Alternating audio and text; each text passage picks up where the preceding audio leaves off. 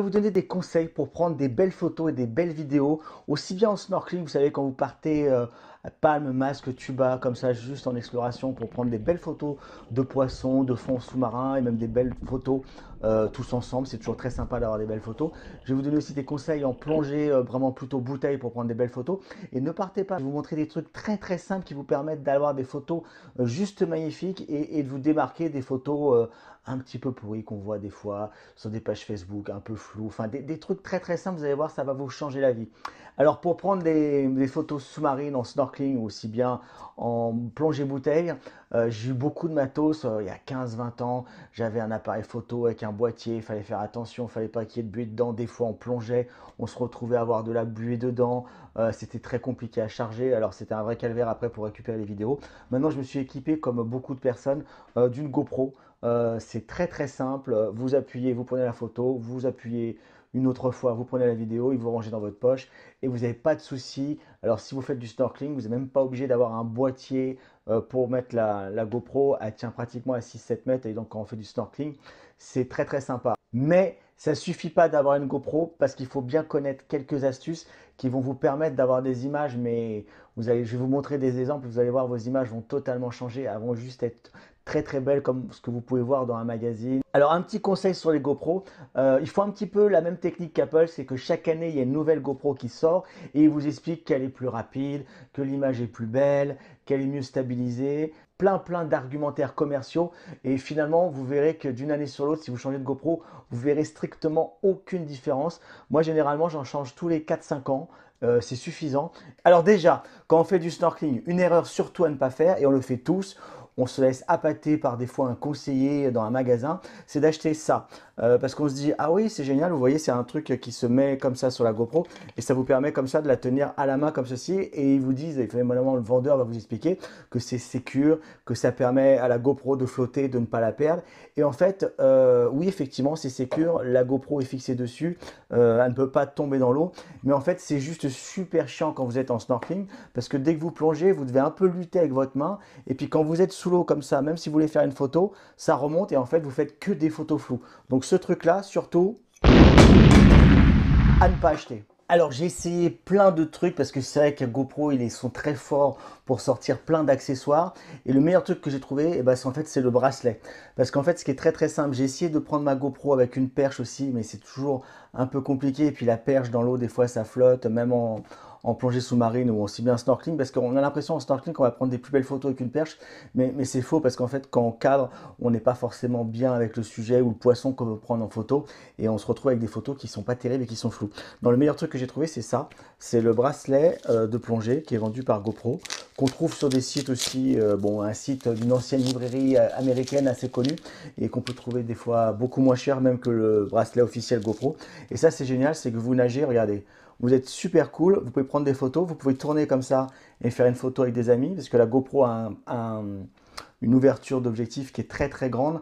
Euh, ça fait pas du 360, mais c'est un très grand angle. Donc là, en prenant une photo comme ça, vous êtes carrément bien, bien pris, vous avez une très bonne exposition. Et vous êtes surtout libre. Euh, vous sautez du bateau comme ça avec votre GoPro, vous pouvez nager tranquillement. Euh, tiens, je vais vous dire, tiens, je prends une petite photo comme ça. vous prendre une selfie, comme j'ai une selfie comme ça ou prendre avec un groupe d'amis comme ça dans l'eau et vous êtes super libre. Moi personnellement, à moins que quelqu'un ait trouvé mieux que cet outil, euh, je trouve qu'il n'y a pas mieux que ce bracelet. Euh, on est totalement libre et en plongée bouteille, ce qui est génial, c'est qu'on a nos mains libres, on peut prendre notre détendeur, enfin on peut prendre tout ça et on a les mains totalement libres. Et voici le conseil ultime qu'il vous faut maintenant pour avoir des super images sous l'eau, parce qu'il faut savoir que la lumière sous l'eau est totalement différente et que les couleurs changent. Et malgré tout ce que vous pourrez essayer de faire, en fait, vous n'aurez jamais des rendus comme des photographes professionnels. Et là, je vais vous montrer un truc très très simple pour avoir les mêmes rendus. En fait, il suffit juste d'acheter euh, des filtres. Alors ces filtres font quoi? Ils changent la couleur de la lumière. Et comme ils changent la couleur de la lumière, eh bien ils optimisent la photo par rapport à l'endroit où vous faites de la, plongée. Euh, par exemple, le, filtre rouge, celui-ci, euh, est plutôt utilisé dans les eaux pourpres, euh, pour euh, rendre l'eau bien bleue. Euh, le filtre magenta est plutôt dans les eaux turquoises pour réaccentuer la couleur turquoise de l'eau parce que c'est vrai que ces fois vous pouvez prendre une photo et vous vous dites mais c'est bizarre les gens qui font des photos quand je les vois sur des internet l'eau n'a pas du tout cette couleur là et pourtant j'ai une bonne GoPro ils ont l'air d'utiliser tout ça même en télévision ils utilisent beaucoup des GoPro dans plein d'émissions. Ils en mettent 4-5 partout, dans des émissions automobiles, dans des émissions de plongée. Enfin, la GoPro est largement utilisée. Et il y a le filtre orange qui est très très sympa. Et celui-là qui est utilisé euh, plutôt pour du snorkeling. Voilà, donc vous achetez ça, ça coûte une quarantaine d'euros. Et avec ces trois filtres, euh, vous allez totalement changer vos images. D'ailleurs, je vais vous montrer en vidéo des exemples tout de suite là. Et vous allez voir qu'à gauche, je vais vous montrer euh, ce que ça donne avec une GoPro sans le filtre. Alors c'est très très simple. vous mettez le filtre ici comme ça sur le boîtier. Et voilà, c'est enclenché.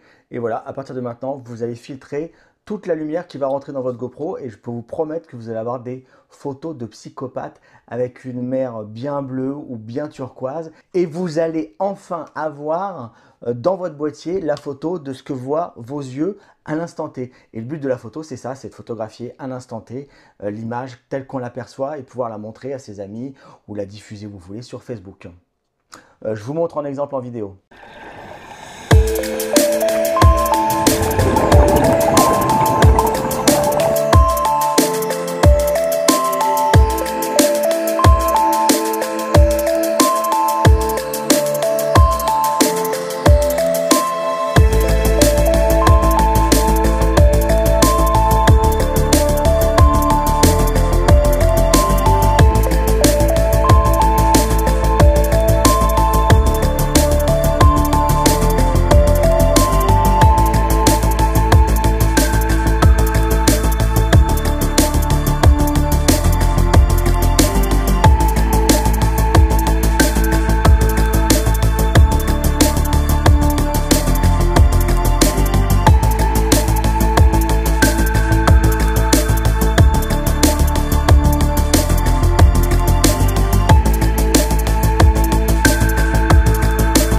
Que cette vidéo vous a appris un certain nombre de techniques, notamment le bracelet, les filtres.